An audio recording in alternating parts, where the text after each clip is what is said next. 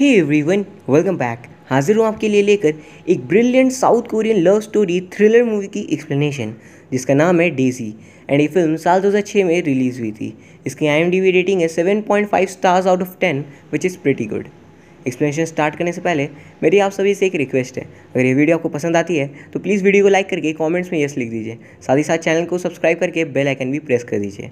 Now with no further delay let's begin film शुरू होती है एक विलेज के खूबसूरत से सीन से, जहाँ हमें डेजी फ्लावर्स को दिखाते हैं। एक लड़की साइकिल चलाते हुए जा रही होती है, फिर वो एक नदी किनारे बैठकर पेंटिंग बनाती है। लौटते वक्त बहुत ही तेज़ बारिश हो रही थी और वो एक शॉप के शेड में खड़ी हो जाती है और नरेट करती है। आज फिर से बारिश हो रही है। हमेशा जब भी बारिश होती है, मुझे जगह ढूंढनी पड़ती है, बचने को, क्योंकि मैं छाता नहीं रखती। और ऐसा इसलिए क्योंकि मेरी परवाह करने वाला कोई नहीं है। मैं बीमार पड़ूँ या ठीक रहूँ और अब मुझे खुद के साथ रहने की आदत हो गई है। मेरे ग्रैंडफादर मुझसे कहते हैं एमिली आखिर में बारिश रुकी जाएगी और सूरज की रोशनी तुम्हें घेर लेगी और तुम्हारे ज़िंदगी में भी कोई ज़रूर आएगा। मैं 25 साल की हो गई हूँ और अपने पहले प्यार का इंतज़ार कर रही हूँ। उसके बाद दिखाते हैं कि बारिश रुक जाती है और एमली वहाँ से चली जाती है। फिर वो नरेट करती है, मैंने कभी नहीं सोचा था कि इस तरह से उससे मिलूँगी। लगभग एक साल बीत गए थे हम दोनों को एक दूसरे को देखते हुए। मैं वो दिन कभी नहीं भूल सकती। वीकडेज़ पे मैं अपने ग्रैंडफादर के एंटी शॉप पे काम करती थी।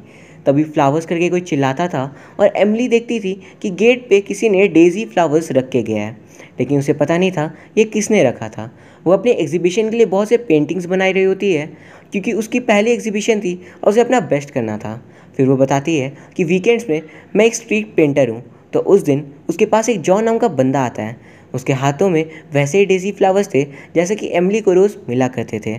जॉन उसे खुद की स्केच बनाने को कहता है और एमली सोचती है, ऐसे तो मुझको सारे कस्टमर्स अनजान लगते हैं, लेकिन ये पता नहीं क्यों जाना सा लगता है। शायद ऐसा इसलिए क्योंकि ये एग्जैक्ट चार पंद्रह में आया है।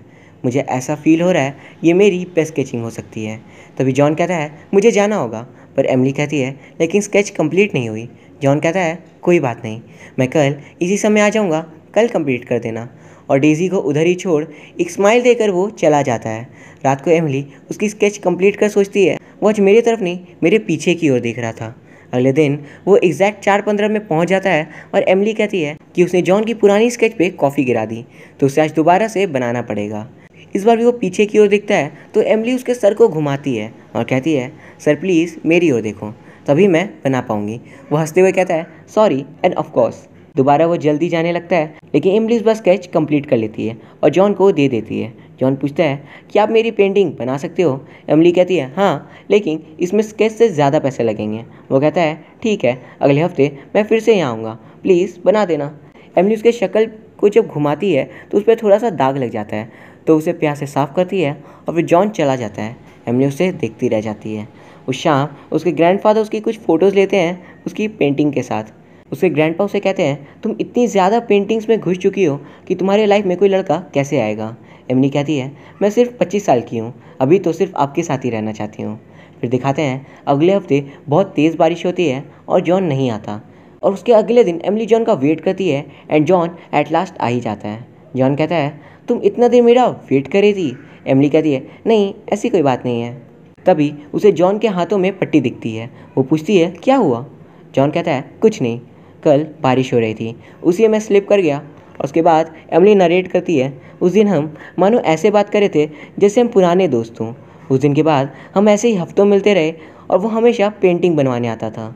एक दिन जॉन एंटी शॉप पे आता है और एमली के लिए डीजी लेकर एमली उसे अंदर ले जाती है और वो उसके शॉप के एंटिक्स को देखता है। एमली पूछती है, तुम्हें कैसे पता चला मैं यहाँ रहती हूँ? जॉन कहता है, मेरे अपने सोर्सेस हैं। फिर एमली उसे अपनी एग्जीबिशन के लिए बनाए हुए पेंटिंग्स दिखाती है। उधर ही जॉन की पुरानी स्केच भी थी, जो एमली ने कहा था कि कॉफ़ी गिर गई है उसमें। जॉन ये देख लेता है तो एमली कहती है, नहीं नहीं, ये तुम्हारी नहीं है, ये किसी और की है। तभी जॉन को एक पेंटिंग दिखती है और वो पूछता है, ये कहाँ की है? तभी एमिली सोचना शुरू करती है और कहानी पास्ट में आती है।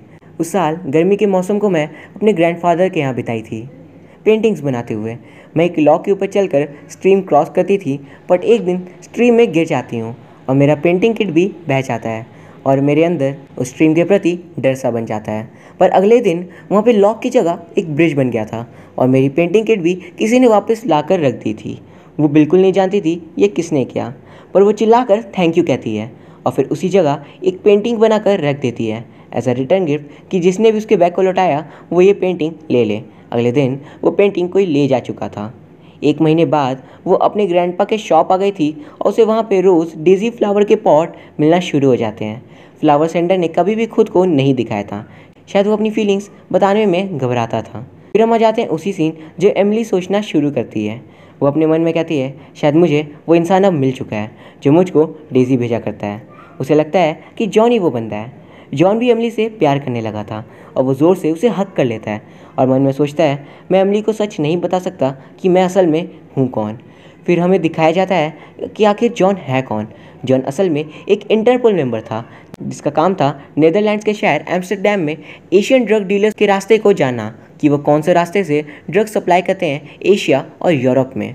तो एक दिन वो नज़र रख रहा होता है डीलर्स पे और वहाँ पे एक फ्लावर शॉप से वो डेजी का पॉट उठा लेता है। और उधर ही एमली पेंटिंग बना रही होती है। तो वो उसके पास जाकर बैठ जाता है ताकि किसी को शक ना हो कि वो एक एजेंट है और फ्लावर पॉट उधर ही छोड़ वहाँ से चला जाता है। हम ऐसा वे सोचते हैं, क्या ये वही इंसान है जो एमली को डेजी फ्लावर्स देता था? या फिर इसका डेजी लाना सिर्फ़ एक कोइंसिडेंस है? इसका जवाब हमें आगे मिलेगा। अब जॉन फिर से अपनी तरफ़ की कहानी सुनाता है कि पहले तो वो सिर्फ़ इन्वेस्टिगेशन के लिए एमली के सामने बैठता था, लेकिन अब उसे सचमुच एमली अच्छी लगने लगती है। जिस सैटरडे को उसने एमली को कहा था कि वह उसके लिए स्केच नहीं पेंटिंग चाहता है तो उस दिन बारिश होने लगती है। तो वह उधर आया तो था लेकिन छिपका था। एमली को देख रहा होता है। तो उसी दिन उसे एक बंदा कुछ अजीब लगता है तो, तो उसका पीछा करता है लेकिन जॉन उससे पिट जाता है और इसलिए उसके हाथों में पट्टी बंदी थी। और ऐसे ही वो दोनों मिलते हैं और उनमें प्यार हो जाता है। एक दिन वो मिलते हैं उसी जगह पर और जॉन पूछता है आखिर तुम मेरे बारे में क्या जानती हो? एमली कहती है तुम शायद कोरियन बिजनेसमैन हो जो नीदरलैंड्स में रहता है और एज तुम्हारी तीस के करीब होगी। जॉन कहता है, अगर तुम्हें मेरे बारे में सब कुछ पता चल गया, फिर भी तुम मुझसे उतना ही प्यार करोगी? और तभी अचानक एक गोली की आवाज़ आती है। जॉन और कुछ लोगों में फाइट शुरू हो जाती है और वहाँ पे एक बिल्डिंग से एक शूटर जॉन पे शूट करता है और एक गोली एमली को भी लग जाती है। तभी जॉन का बॉस वहाँ आता है और एमली को हॉस्पिटल ले जाता है और जॉन उस बिल्डिंग में चढ़ता है ताकि शूटर को पकड़ सके, लेकिन नहीं पकड़ पाता है और उधर ही बेहोश हो जाता है। और इस दौरान एमली की आवाज़ चली जाती है क्योंकि उसे गोली लगी थी और जॉन को कोरिया वापस भेज दिया जाता है। लेकिन अभी भी एमली को डेजीज हर रोज़ मिलते थे। तो आखिर कौन है जो एमली को डेजीज भेज रहा था? जिससे मन ही मन एमली प्यार तो करती थी, लेकिन वो जॉन को वो बंदा समझकर उससे प्यार करने लगती है। अब हमें मार्क नाम के बंदे को दिखाते हैं। वो नरेट करता है, पहली बार जब मैंने उसे देखा तो उसके दूसरे दिन ही मैंने अपना पहला मर्डर किया। मैं सिर्फ़ गन पाउडर की स्मेल ही जानता था। लेकिन एक आदमी से सुना था कि फूलों की खुशबू में बारूद की खुशबू खत्म हो जाती है। इसलिए मैं डेजीज उगाना शुरू किया था। लेकिन सारे फूल मेरे लिए खुशबू नहीं होते।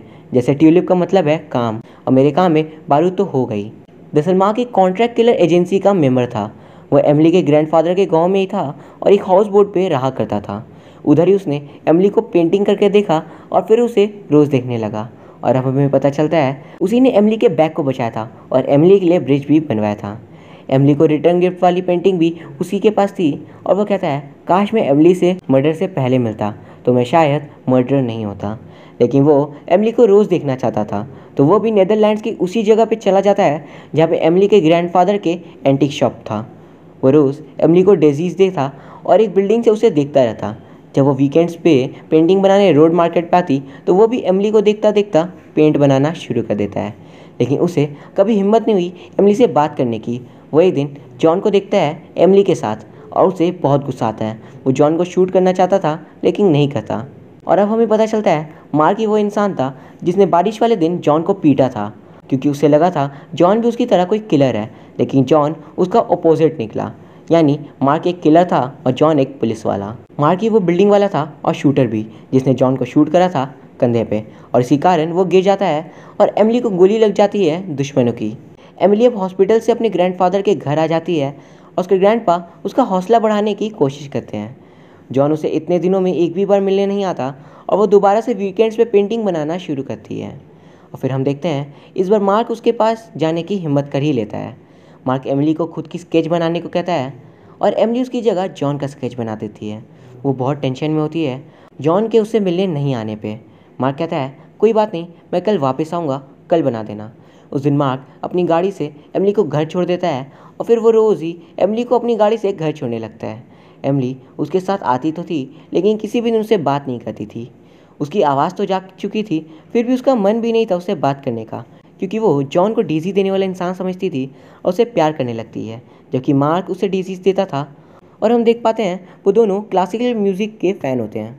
एमिली समझ चुकी थी, मार्क उसे पसंद करता था, लेकिन वो अब भी जॉन का वेट कर रही थी। एक दिन एमिली उसे डिनर को पूछ लेती है। दोनों एक रेस्टोरेंट पे जाते हैं और वहाँ पे एमिली को बैठा कर वो कहीं जाता है। उसे एक और टास्क मिला था, किसी और को मारने का। मार्क जल्दी से टास्क कंप्लीट कर वापस आता है और वह एमली उसे उसका स्केच देती है और एक नोट देती है, जिसमें लिखा था, सॉरी, बट मैं किसी और से प्यार करती हूँ। मार्क कहता है, मुझे तुम्हारी पेंटिंग्स पसंद है, मैं सिर्फ़ तुमसे दोस्ती करना चाहता हूँ। एमली जॉन को डीजी देने वाला इंसान समझती थी और वो माँ को अपनी लव स्टोरी लिख कर बताती है। माँ कहता है, वेट करने से कुछ नहीं होगा, चलो मेरे साथ। वो दोनों पता करते हैं और जॉन का एक टीममेट उसे बताता है कि जॉन को कोरिया से आने की इजाज़त नहीं मिलेगी। माँ कहता है, टेंशन मत लो, वो पंद्रह अप्रैल को यहाँ ज़रूर आएगा। पंद्रह अप्रैल एमली के एग्जीबिशन का डेट था।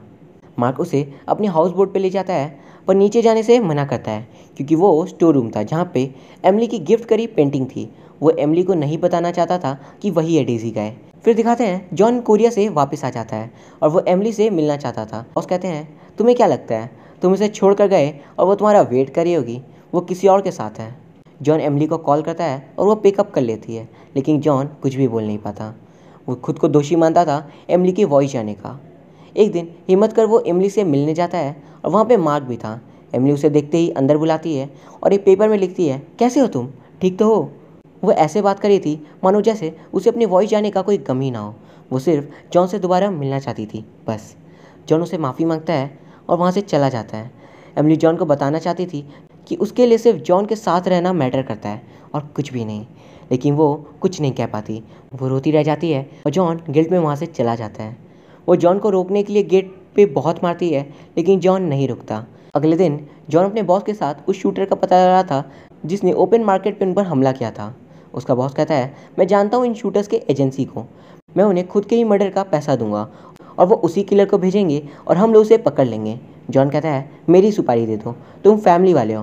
और प्लान के अकॉर्डिंग माँ को ये काम मिलता है। अगले सीन में, जॉन एक कार में होता है और उसके टीम के बाकी मेंबर्स भी छिप कर होते हैं। तभी मार्क आता है और जॉन से कहता है जो तुमसे बात करनी है। जॉन अपनी टीम से कॉन्टैक्ट हटाकर मार्क के साथ कार में कहीं चला जाता है। जॉन समझ गया था कि यही वो शूटर है, क्योंकि उसने उसे एमली के घर पे देखा था। जॉन पूछता है, मुझे क्यों नहीं मारा उस दिन?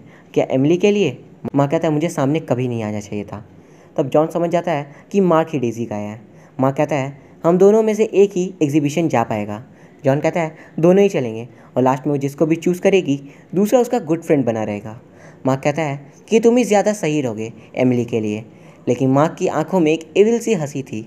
जॉन मार्क को दोस्त समझ लेता है और फिर कार से उतर कर चला जाता है। उस दिन उधर ही ख़त्म हो जाता है और अगले दिन एग्जीबिशन में सब आए थे, सिर्फ़ जॉन नहीं था। वहाँ उसका बॉस बताता है जॉन ड्यूटे के वक्त मारा गया। मतलब वो लास्ट मार्क के साथ ही दिखा था। मार्क नज़र चुरा रहा था और एमली बहुत रो रही थी। उसके बाद पूरे एक साल बीत जाते हैं और मार्क एमली का अच्छा दोस्त बन चुका था। उसके ग्रैंड से शादी के लिए राय देते हैं। नेक्स्ट सीन में एमली जॉन के टूम पे फूल रखती है और तभी जॉन का बॉस वहाँ आता है। जॉन के कातिल का कुछ डिटेल्स देता है। वो कहता है, जो भी था, उसे क्लासिकल म्यूज़िक बहुत पसंद था। तभी एमिली को याद आता है मार्क को भी क्लासिकल म्यूज़िक पसंद है। जॉन का बॉस इस बार खुद की सुपारी देता है ताकि वो असली कातिल को पकड़ सके। यह एमली मार्क के हाउस बोट के स्टोर रूम पे चेक करती है, उसे एक बैग मिलता है। उसके बाद वो मार्क से मिलने जाती है उसके दूसरे घर पे।